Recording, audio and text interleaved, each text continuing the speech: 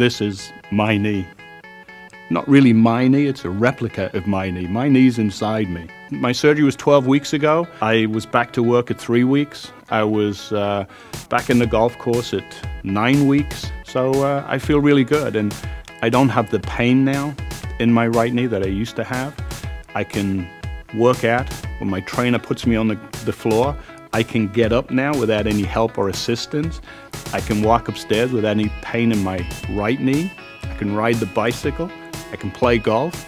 I had uh, four surgeries on my right knee in the past. Just through injuries and wear and tear, I wore them out and I lost 31 pounds after the surgery.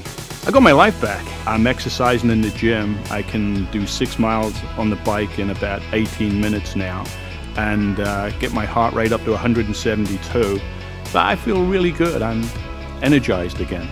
It fits, it works, it bends, it does everything it's supposed to do.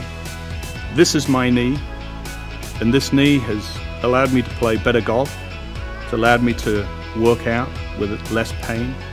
I sleep better, I walk better, I don't have a limp, and it certainly changed my life.